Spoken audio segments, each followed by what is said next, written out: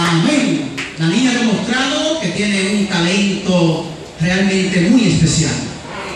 Y ya lo ven, nos ha edificado con esta canción que yo sé